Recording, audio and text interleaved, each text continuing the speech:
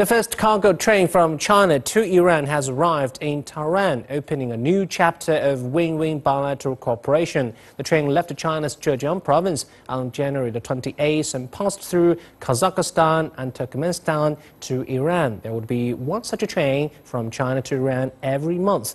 Iran's Road and Urbanism Minister says the train's launch is an important move in reviving the Silk Road economic belt.